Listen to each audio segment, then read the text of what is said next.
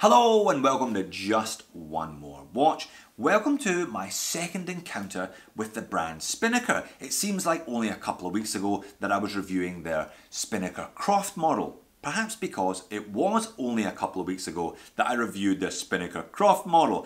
This one had rather a lot going on, Fume dial, small seconds, little cyclops and a big chunky case. Today it's the turn of their brand new hull model. This one yet to be released. Spinnaker seem to follow a particular sales pattern when they're releasing new watches onto the market.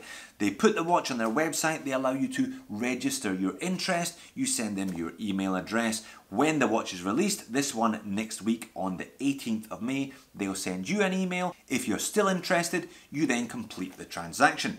At that point, however, you have the option of adding a discount code when you purchase. You will find a discount code JOMW30 for 30% off the hull or pretty much anything else on the Spinnaker website in the description of this video. That takes the hull down to only $175. Quite appealing for a retro style watch with more than a whiff of Panerai about it. Let's flip the camera and get a closer look. So Spinnaker number two then, and I must admit I quite like both of them. Again, it comes with this reviewer box. This isn't the standard packaging, so I can't really comment about what you're gonna get if you do sign up for one of these and pick one up on the 18th of May, but I can comment about the watch and it's a lovely looking, as I said in the intro, more than a whiff of Panerai about it and that is no bad thing. Doesn't have the vintage lugs, kind of like a, a Radiomir 1940, one of these style ones I'm popping up on the screen there.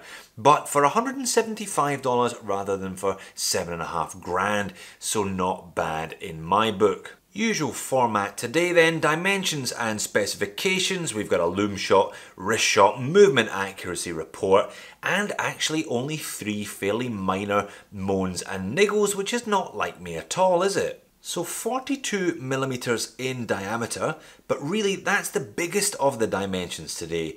Uh, it wears and feels like a much smaller watch than that 42 mil diameter initially suggests, thanks in no small part to this cushion case. 22 millimeter on the lug width. We've got just under 50 mil thick, 14.75 but only 47 and a half lug to lug. Now that is only a millimeter more than the legendary SKX 007009 brothers. Those watches are known to suit guys with smaller wrists because of that shorter lug to lug. This one also weighing in at only 92 grams on the supplied leather strap. So as mentioned, it really does feel like a smaller watch on the wrist, a trick it shares with the Panerais. Four different colorways are available, but I think I got the best one. Really enjoying this DLC coating here, especially when combined with this fawn leather strap, nice kind of pale leather strap. Now, the strap came with a tag saying that it was waterproof leather, suggesting that it will absorb considerably less water than a normal leather strap. You know, I have my doubts about leather straps on a dive watch to begin with. Uh, you know, that's up to you whether you pop this one perhaps on a rubber strap or something for the weekend, or you just take your chances with this leather one. Certainly there's an expectation then that you'll be getting this one wet and the strap is, is designed to, to help you with that. We've got a screw down crown here, 100 meters of water resistance, 316L stainless steel DLC coating as mentioned as well.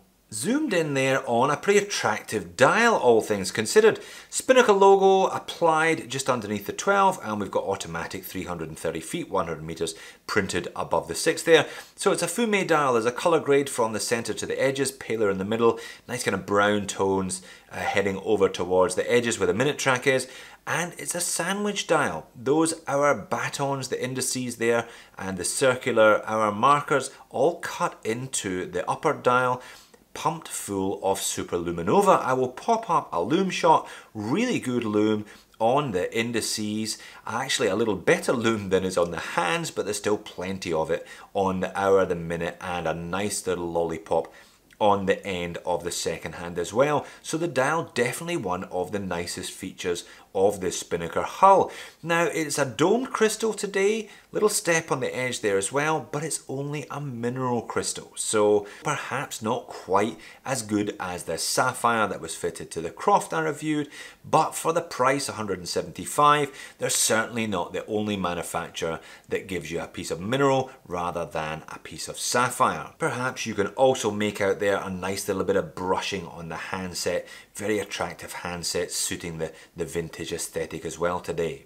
Now over to the case back and we've got a screw down case back helping with that 100 meters water resistant, advertising the automatic movement, the all stainless steel construction and the specific model number. And perhaps you can make out the familiar sight of the Seiko NH35, a definite step forward from the Croft which used a small seconds version of the Miyota 8000 series. I will pop up an accuracy report, this one running in the winders for just over a week, coming in at plus 3.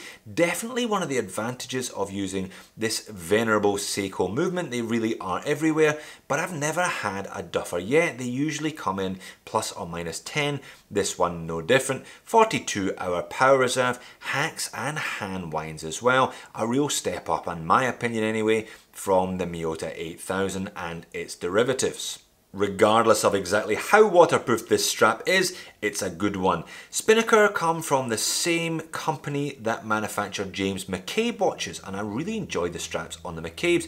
These ones certainly look and feel as if they're coming from the same factory that made those. We've got a nice DLC coated buckle there as well, again with the Spinnaker logo etched in it and Spinnaker logo on the underside. Nice bit of vintage stitching there. And there is the watch on my 7 inch wrist. Cushion cases always make the watch feel a lot smaller than that initial diameter dimension suggests. So it's a 42 that certainly doesn't feel bulky in any way. As mentioned, I definitely got sent the best of the colour schemes, really enjoying the gold tone hands, that brown fume dial, the, the dark DLC coating and that lovely fawn strap certainly looks a lot more expensive, I think, than the $175 that they're going to be charging for this one when they release it next week. Moans and niggles then, well only three and I've intimated what two of them are. Mineral crystal, I'd much rather have sapphire crystal, I'm a bit of a klutz, so I do tend to shy away a little bit from stuff with mineral crystal. But again, I don't think you've been ripped off given the, the quality, the overall feel of quality given the rest of the watch and the $175 price tag. I'm looking at you, Seiko and Orient. You're both doing exactly the same thing. Leather strap on a diver, I'll leave that one up to you, but as mentioned, the strap is a good one. My only other gripe is with that case back. What on earth is going on there? It's the Spinnaker logo, but why put a see-through case back on a watch when you're then going to obscure it with text? Just cover the thing up. I don't think the Seiko NH35 is all that crash hot looking anyway. Give us a solid case back, perhaps that would even have led to a slightly improved water resistance. I just don't quite get what's going on there, do you? Overall then, I'm very pleased with this Spinnaker hull. I really do enjoy the vintage aesthetic. Nice DLC coating on this one. Love the Fume dial, those hands, and that sandwich effect. Plenty of loom provided. Really looking forward to Spinnaker's future output. So there you have it. Perhaps a case of three steps forward and one step back for me anyway at least with the Spinnaker hull. I really like the watch, I think I definitely got the best model, love the colour scheme of this one with the DLC coating and that pale fawn strap. I also think their move away from the Miyota 8000 series to the Seiko NH35 is a good one. I just wish they'd put a piece of domed sapphire rather than domed mineral on top of the dial. But at $175 I can't moan too much. Don't forget the description code if you're interested John with 30. See you in the next vid.